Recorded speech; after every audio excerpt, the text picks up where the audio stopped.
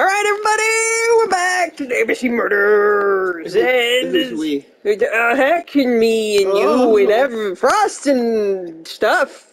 We got a whole gang here. Say hi, Frost. Can you tell the people hi? Can you tell them hi? Say hi. Come on. Don't, don't make me a bad trainer. Frost, tell them. Tell them. Tell them hi. Tell them hi. He's he's not. No. Yep. He's not gonna. Can you tell him? No? Okay. Anyway, we're gonna finish this up. This should be the finale. So, let's do this. Everyone know who did it. It was Hercule. it was Hercule Poirot the whole time. Hercule Parrot. Parate. Karate. Alright. So, we just gave uh, Hastings a gun. So, cool. Wait, you gave him the gun? I thought you were looking for the gun. No, I'm pretty sure I gave it to him. Oh, what did we need? Oh no, we do need to bring it to him. But where I is it? remembered. There's probably one in your drawer. The white ammunition are blank Or cartridges. right there. The others are real bullets. So these are the blanks, right? Yes. The revolver is loaded with blanks. I still have time to choose real bullets. Then choose the real bullets. I don't think we should. Why? Well, do we really want to kill somebody? It's just in case. Remember, this is America. The revolver is loaded with real bullets. I still have time to choose blanks. Oh, we have to. Oh, then yeah, choose the blancs. The white ammunition are blank cartridges. The others are real bullets. We're gonna take the blanks. I don't The like the revolver is idea. of- loaded with blanks. I still have time to choose real bullets. I, I don't like the idea of, um, like killing somebody. So let's just hope that we can de-escalate the situation. What situation. about telling me what you have in mind? Surtout pas. You wouldn't be able to play your role. Wait one moment, I will bring you my weapon. You have it though. Shoots I'm shooting you right now. You shot. Voila, I entrust you with my weapon. It has hardly been used, it is almost new.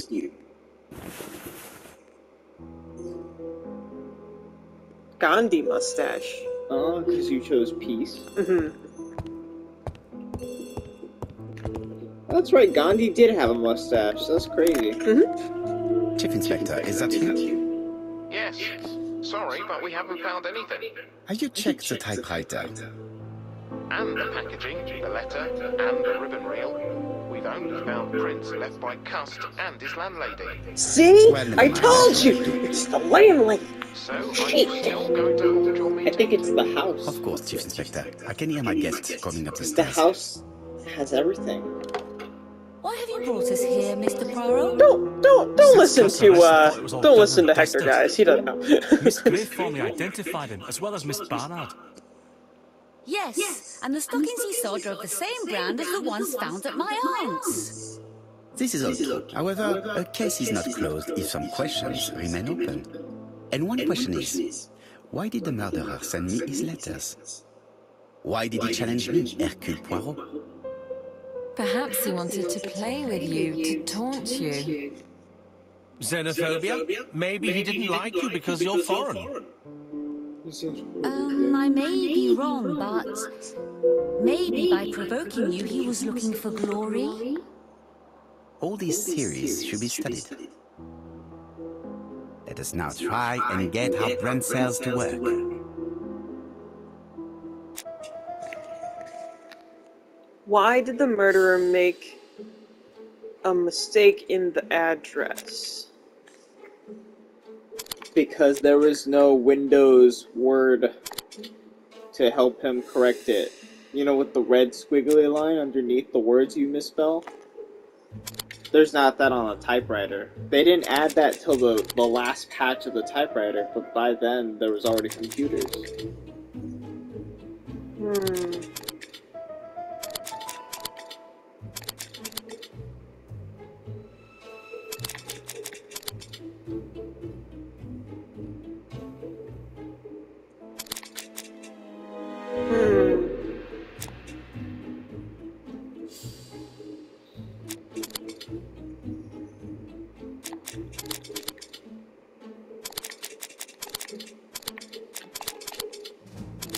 Never know with some of these three ones because like I can get like the majority of it, but I don't know because maybe It's all about being a good guesser.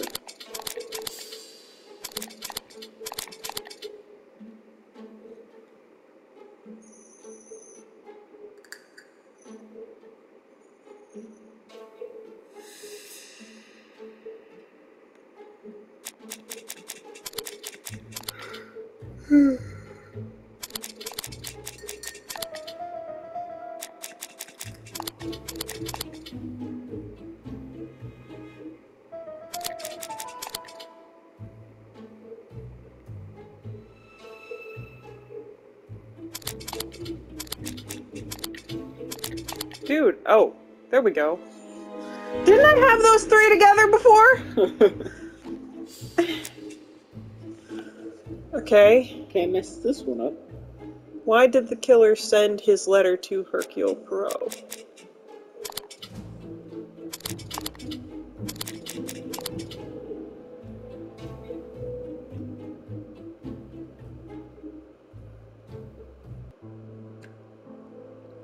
Is everything clear now?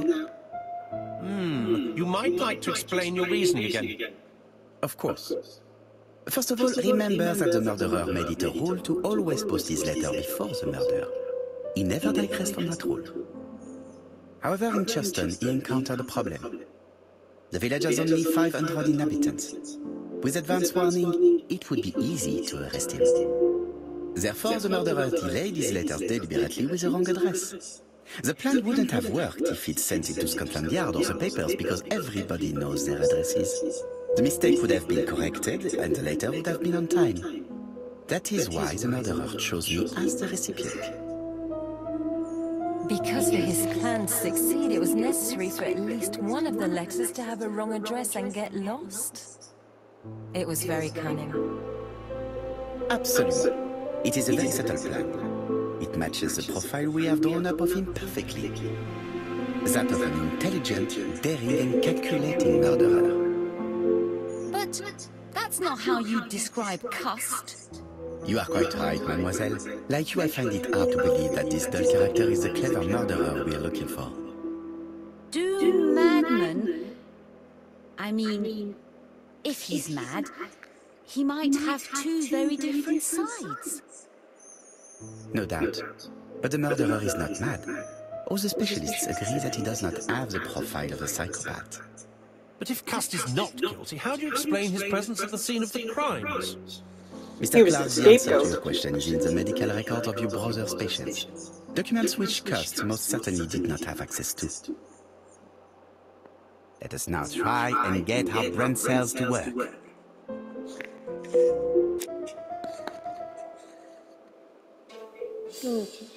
What do we know about Cust? Man, this is a game. He was easily influenced.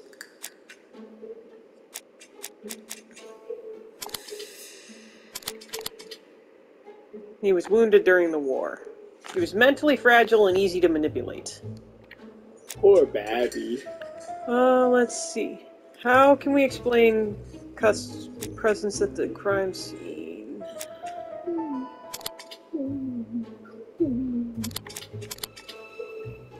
Cust was a door-to-door salesman. No. Uh,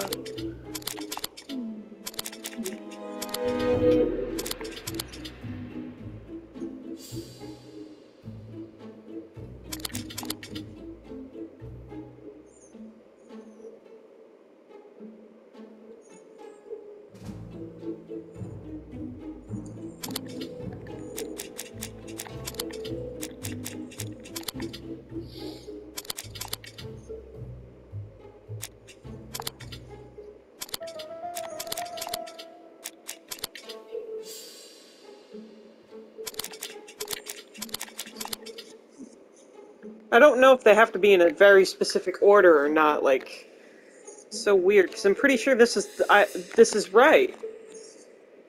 Maybe you're.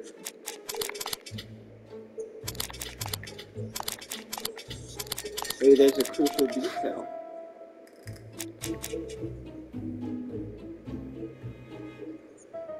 bet you miss you, baby.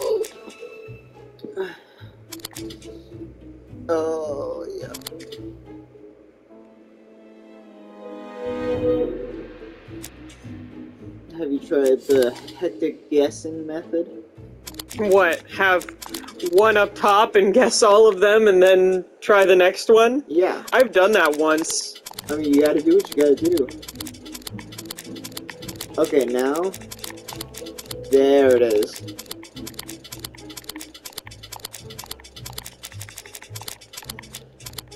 Yeah. There it is. The hectic guessing method, it always works. Cust was manipulate. Okay. Dr. Clark's patient's records provided a very useful list of potential victims, sorted by alphabetical order. The killer definitely used it, explaining the fact that all the victims were former patients of the doctor. It is this fact that clears Cust once and for all, because he never had access to these records. So how did he happen to be at the scene of the crimes? Either the murderer sent him there, or Cust was following him closely. Cust's highly suggestible nature leads us to the second hypothesis. The murderer was manipulating him. He systematically sent Cust to the towns where he was going to strike, so that the suspicion would land on the poor man's shoulder. That's evil. What sort of killer could have such a plan? And what would he gain from three completely different murders? Indeed, it seems unlikely that the same murderer committed all the crimes. What should we take from that?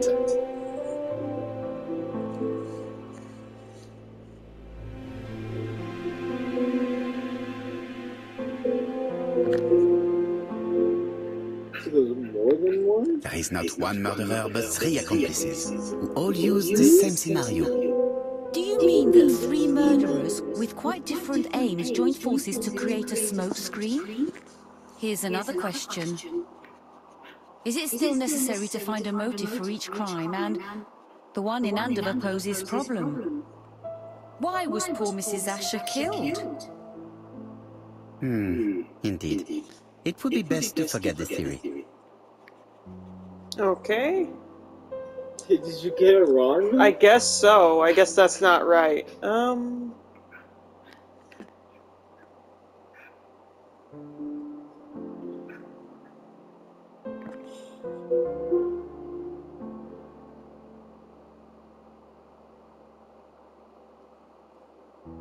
Just one murder was of benefit to the murderer, the others were just diversions.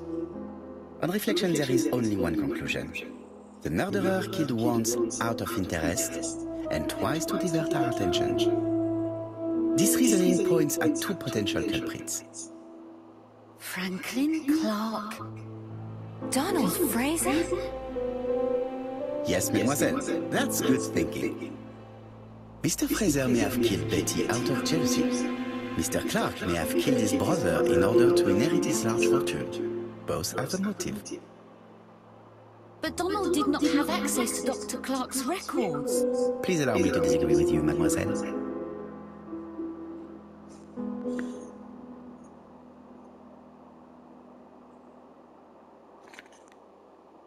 He Right. works for Court and Brunskill, one of whose clients was Sir Carmichael.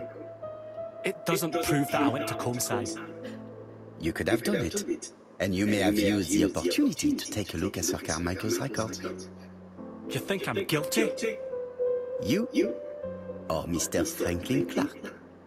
That's ridiculous. Both of you have a motive. The question is, which of you has the profile that most resembles the murderer? Let us now try and get our brain cells to work. It's Donald. Because the profile of the murderer was that they like riding on trains. That's what I called. That's literally I literally called him, and I only met him once. I because he was like they like trains, and I was like, hey, I know one guy who loves riding trains. Let's see. Indeed, let us look again if the murderer. Please, uh, so clever. Did I literally win the game by playing one episode of it? Maybe. Yes, he had a promising career. That's that is that is correct. Let's see. Self-confident.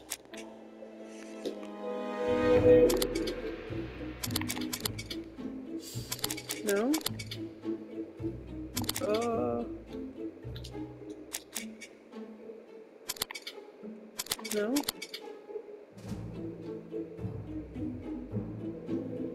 Oh, no, he's not self confident. Maybe not then.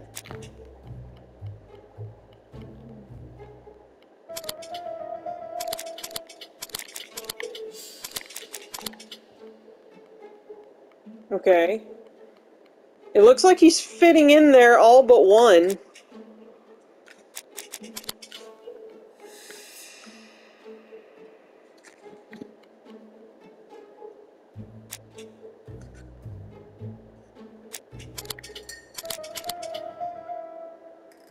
Tempered, though. He's not cold.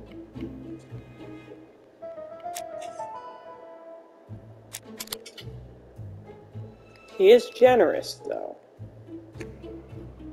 So he only doesn't fit two of those profile points. Ladies and gentlemen, Donald may share many character traits with the murderer, but he does not have his cold indifference. He has a temper. It is hard to imagine him planning anything. Also, jealousy is his motive, and crimes of passion are rarely planned. That is true. Right, I suppose it's my turn to be subjected to the same scrutiny. You sound just like Hastings. Let us now try and get our brain cells to work. Okay. Clever. Uh. Okay, he's clever. Oh well. It would have been cool. You if I were close. you were close. No. Uh, he's self-confident.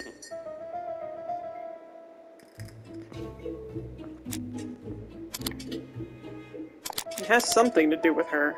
He's a seducer. Delicious. I'll take three, please. He likes trains. Oh, I forgot about that. In the safe, we found out that he liked trains too. In the safe. Yeah, he is cold.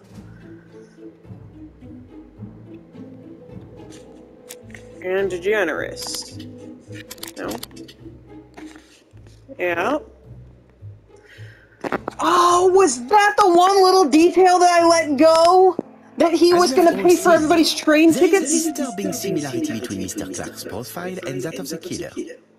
In actual fact, it is exactly the same. Mr. Poirot, your psychological studies are interesting, but your conclusions do not add up. Why Really? would I have wished my brother's death?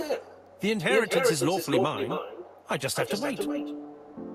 No, you had to act quickly.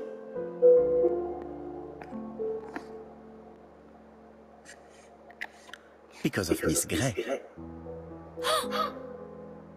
Mademoiselle, although you haven't been telling the truth, there is no doubt in my mind that you would have found a way to marry Sir Carmichael after Lady Clark's death. For you, Mr. Clark, it was a disaster. If Miss Grey had children by your brother, you would not have inherited a thing. You realized the danger after reading several letters from Combeside, especially one in which your brother opened his heart to you. So you hurried home from China, and you took action. In truth, Cust was no more than a puppet manipulated by the real culprit. You, Mr. Clark. Such an imagination, Mr. Poirot. In fact, nobody manipulated Cust. The famous instructions he received by post. He wrote them on the typewriter. We know that for sure. How do you know that for Oh, sure? no. That hasn't been... You been. know Uh, perfectly well. That is not true. Eh bien voilà, light has now been shed on the ABC murders. Your theories are ingenious, but you haven't any proof. One point to him. For the moment, I have no material proof. Either I admit to it, or I bluff. Mm.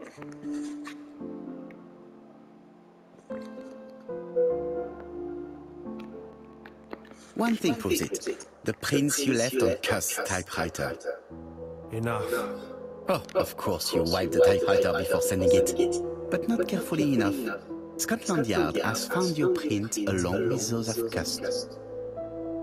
I understand why you never wanted to lend me your new typewriter, and why you were searching for your brother's things. And the hole you dug on the moors. What did you hide there? The knife you used to kill your brother? Game, set, match. You win, Mr. Poirot. But it was worth trying.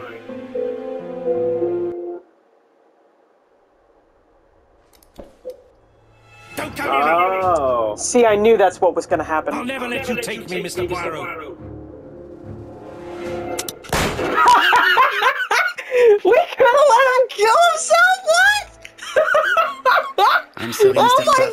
Clark, there is no easy death for you. I expected your reaction, so I used blanks. Bruh. I'm sorry, mademoiselle, but your second chance has been lost. Franklin Clark will never inherit his brother's fortune. Oh my god, that got dark real fast. Whew.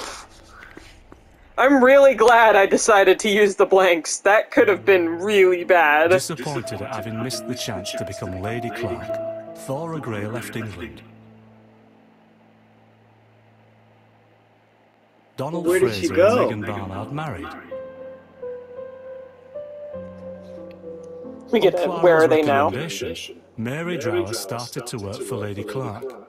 The elderly lady's condition suddenly took a turn for the better. And a few months later, to Dr. Logan's great surprise, she was back on her feet again. According to this eminent physician, it appears to be an extremely rare case of spontaneous remission. Lady Clark has enjoyed very good health ever since.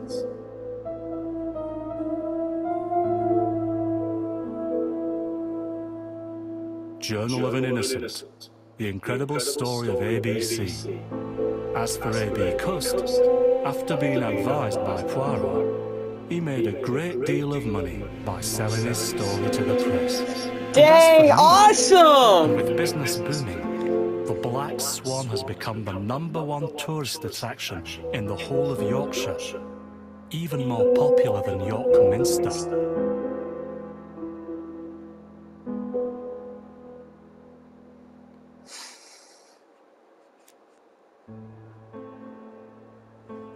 Well, there you have it, guys. We did it. We solved the mystery. That was actually really good. And even though I was scrutinizing every little bit, I missed that one little thing that he said. And had I just paid a little bit more attention to, like, what he said, I might have been able to pick him out. But, yeah.